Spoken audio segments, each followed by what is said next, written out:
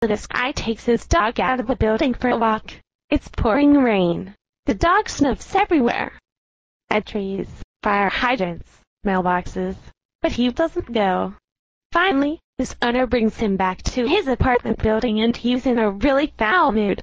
The dog sniffs at the yellow signs warning about the slippery surface, lifts his leg and finally pees all over the floor.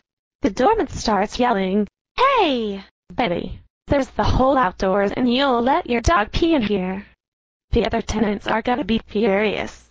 The dog looks up at his owner and says, What? The sign says, Wet floor. And then, the doorman's eyes nearly bug out of his skull. Holy shit, your dog can't talk. The owner says, Don't encourage him. He thinks he's a comedian.